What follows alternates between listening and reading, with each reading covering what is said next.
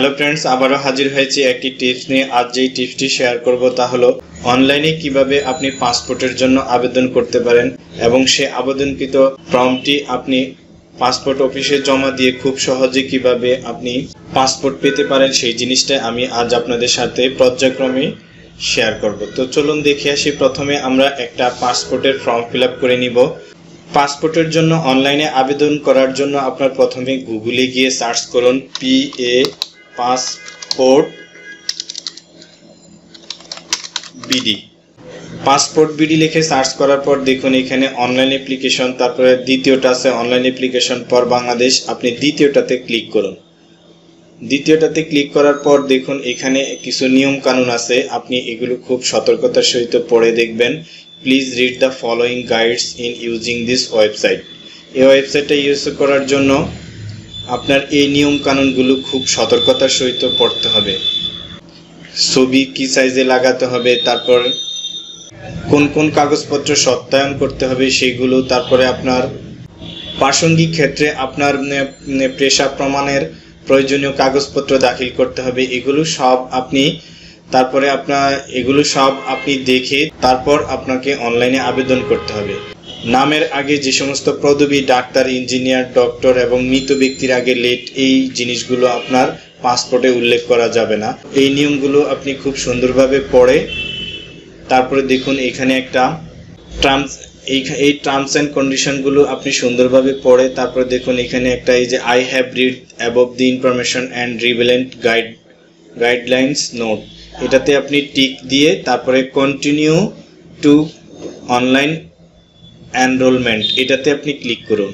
এটাতে ক্লিক করলে আপনার পাসপোর্টের যে মূল ফর্মটি সেটি ওপেন হবে।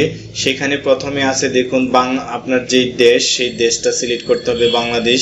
তারপরে দেখুন পাসপোর্ট টাইপ এই পাসপোর্ট টাইপটা আপনার সিলেক্ট করতে হবে। এটা হলো আপনি যদি তিন হাজার চারশো পঞ্চাশ টাকা জমা দেন, তাহলে আপনার এখানে অর্ডিনারি দিতে হবে।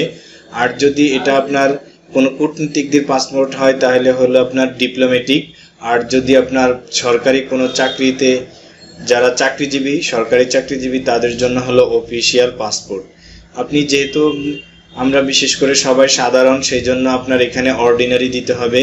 অর্ডিনারি দেওয়ার পর এখানে যে সাপোর্টিং ডকুমেন্ট এটা কোনো কিছু না সিলেক্ট করলেও হবে। তারপরে দেখুন আছে ডেলিভারি টাইপ ডেলিভারি টাইপের মধ্যে দুইটা অপশন আছে, একটা হলো রেগুলার এক্সপ্রেস রেগুলার হলো যারা তিন হাজার চারশো পঞ্চাশ টাকা জমা দিয়েছে অনলাইনে যে কোনো ব্যাংকে আপনি তিন হাজার চারশো পঞ্চাশ টাকা যারা জমা দিয়েছে, অর্থাৎ এটা এক মাসের জন্য দিবে। আর এক্সপ্রেসটা হলো আপনার ইমার্জেন্সি, যেটা হয়তো আপনার বাহাত্তর ঘণ্টার মধ্যে দেওয়ার কথা, এটা তিন দিন বা সাত দিন অথবা দশ দিন সময় লাগতে পারে, সেটা হলো আপনার এক্সপ্রেস।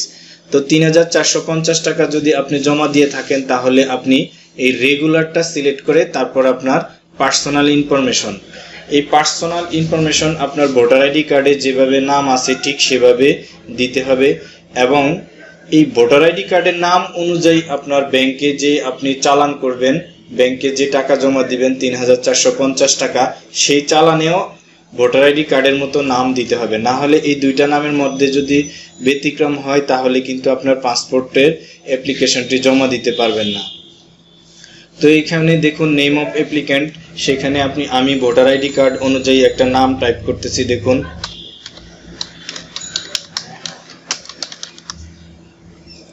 মোহাম্মদ আলী। তারপর দেখুন, এখানে ফার্স্ট নেম দিলাম মোহাম্মদ। সেকেন্ড নেম হলো আলী। এই দুইটা দিয়ে তারপরে এখানে দেখুন, আছে ফাদার্স নেম আপনি ফাদার্স নেমে লিখুন।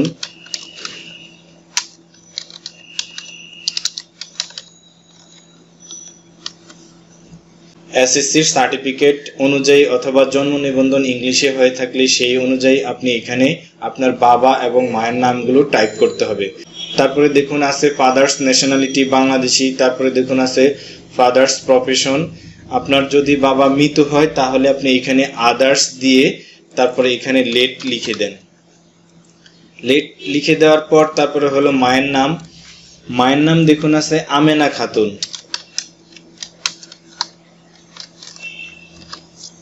আমেনা খাতুন দিয়ে তারপর দেখুন আছে হলো আপনার মায়ের নামটা দেওয়ার পর দেখুন এখানে মায়ের ন্যাশনালিটি এবং মায়ের প্রফেশন মাও যদি মৃত হয় তাহলে আদার্স দিয়ে লেট দিয়ে লেট দিন।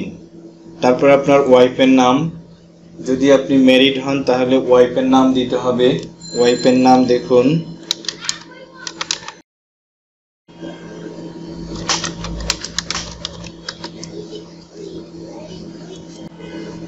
তারপরে ওয়াইফের আপনার ন্যাশনালিটি সিলেক্ট করতে হবে, তারপরে ওয়াইফের প্রফেশন সিলেক্ট করতে হবে মেরিটাল স্ট্যাটাস দিতে হবে, তারপর দেখুন আছে অ্যাপ্লিক্যান্ট প্রফেশন এখানে আপনি প্রাইভেট সার্ভিস দিলে প্রাইভেট সার্ভিস দিতে পারেন অথবা যদি আপনি পেশা বিজনেস দেন, পেশা বিজনেস দিলে আপনার অবশ্যই ট্রেড লাইসেন্স এবং টিন নাম্বার এই জিনিসটা লাগবে, আপনার এই জন্য বিজনেস পেশা বিজনেস দিলাম, তারপর দেখুন হোম ডিস্ট্রিক্ট সেটা দিলাম, তারপর দেখুন আপনার জন্ম তারিখ।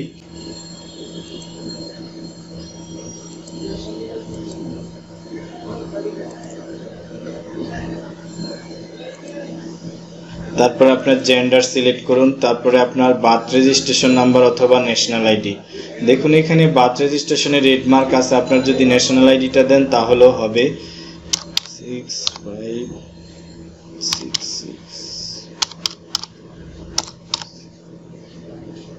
তারপরে আপনার ট্যাক্স আইডি ট্যাক্স আইডিতে আপনি ইটিন যেহেতু আপনার পেশা বিজনেস দেওয়া হয়েছে সেই জন্য এখানে আপনি তিন নাম্বারটা দিয়ে দিন।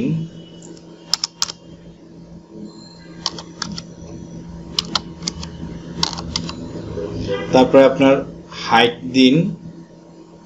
এখানে হাইট দিন ইঞ্চিতে, যদি আপনার পাঁচ ফিট ছয় ইঞ্চি হয়, পাঁচ, বারো, ষাট আট ছয় ছেষট্টি ইঞ্চি দিন, তারপর এটা অটোমেটিক সেন্টিমিটারে হয়ে যাবে। তারপর আপনার ধর্ম সিলেক্ট করুন রিলিজিয়ান তারপর একটা ইমেল আইডি দিন। ইমেল আইডিটা দেওয়ার পর, তারপরে দেখুন আছে সিটিজেনশিপ ইনফরমেশন এখানে আপনি নো দিন dual citizen Bangladeshi by birth তারপরে বার্থ তারপরে ডুয়াল সিটিজেনশিপ এটাতে আপনি নো দিন তারপরে প্রেজেন্ট অ্যাড্রেস প্রেজেন্ট অ্যাড্রেসটা আপনি, আপনার যেভাবে আছে, সেভাবে আপনি প্রেজেন্ট অ্যাড্রেসটা দিন।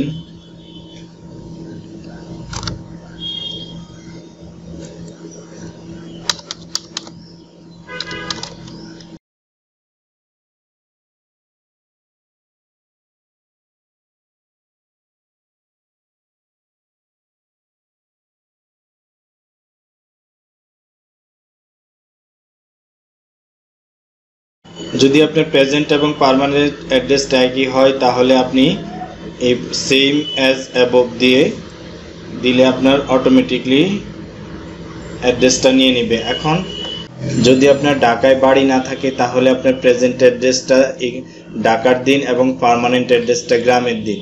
অবশ্যই এখানে কোনো রকমভাবে যদি আপনার ঢাকায় যদি বাড়ি না থাকে, তাহলে পার্মানেন্ট অ্যাড্রেস ঢাকায় দেওয়া যাবে না। এটা পুলিশ ভেরিফিকেশনে অনেক সমস্যা হতে পারে, তাই আপনি সঠিকভাবে আপনার প্রেজেন্ট অ্যাড্রেস এবং পার্মানেন্ট অ্যাড্রেস দিন। প্রেজেন্ট অ্যাড্রেস এবং পার্মানেন্ট অ্যাড্রেস প্রেজেন্ট এবং পার্মানেন্ট অ্যাড্রেস দিলে আপনার দোনো জায়গায় অর্থাৎ প্রেজেন্ট অ্যাড্রেস এবং পার্মানেন্ট অ্যাড্রেস দুই জায়গায় আপনার পুলিশ ভেরিফিকেশন হবে। আর যদি আপনার অ্যাড্রেস একই হয়, তাহলে এক জায়গায় পুলিশ ভেরিফিকেশন হবে। সেই জন্য আপনার প্রেজেন্ট এবং পার্মানেন্ট অ্যাড্রেসটা দিয়ে তারপর দেখুন, এখানে আছে save now and continue in future অথবা সেভ অ্যান্ড নেক্সট আপনি এই সেভ অ্যান্ড নেক্সটে ক্লিক করুন। সেভ অ্যান্ড নেক্সটে ক্লিক করার পর এখন দেখুন আপনার এখানে মোবাইল নাম্বার দিতে হবে জিরো ওয়ান। যে নাম্বারটা আপনার পাসপোর্ট প্রাপ্তি শিকারের মেসেজ আসবে অথবা পুলিশ আপনার সাথে যোগাযোগ করবে সেই নাম্বারটা এখানে দিন।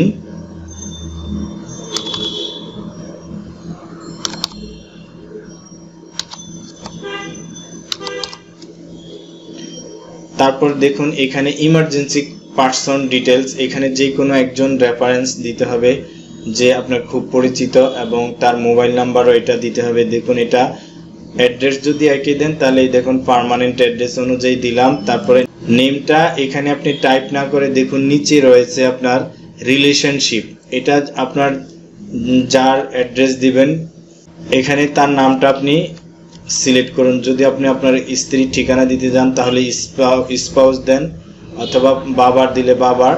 স্পাউস দিলে দেখুন সরাসরি আপনার নামটা ওইখানে চলে আসবে, আপনার স্পাউসের নামটা। এখানে আর টাইপ করতে হবে না। দিয়ে তারপরে আপনার স্পাউস অর্থাৎ স্ত্রীর মোবাইল নাম্বারটা এখানে দিন।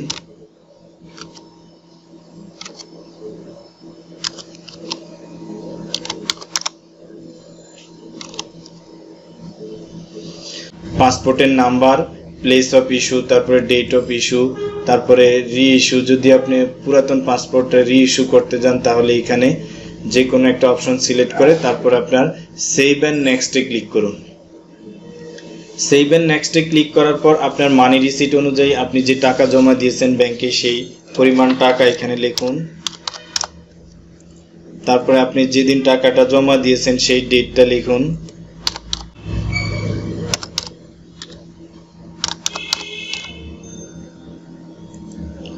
তারপর আপনার মানি রিসিট নাম্বার এখানে টাইপ করুন। মানি রিসিট নাম্বারটা দেখুন পেমেন্ট রেফারেন্স নং নামে একটা আইডি রয়েছে, সেই আইডিটা এখানে আপনি টাইপ করুন। দেখুন, এখানে একটা বড় টাই আইডি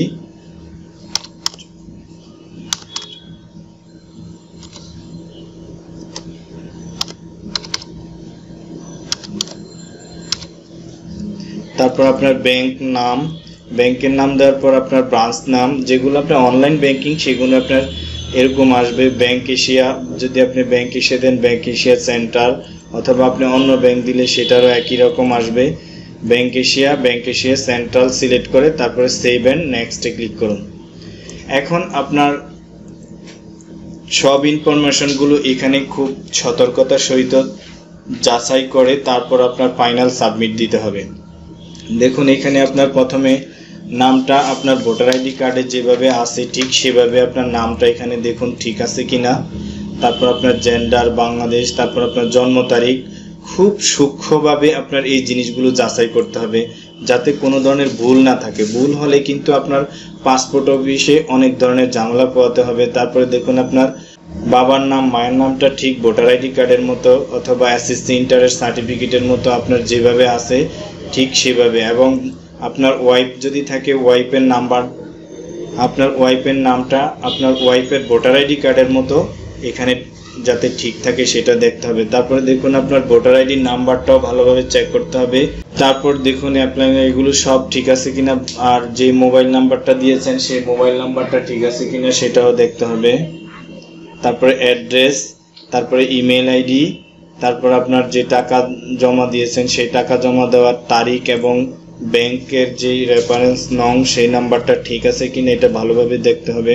দেখার পর তারপরে আপনার ব্যাংকের নাম এবং ব্যাংকের ব্রাঞ্চ এগুলো সব সিলেক্ট করে তারপরে সেভে ক্লিক করতে হবে। সেভে ক্লিক করার পর দেখুন আপনার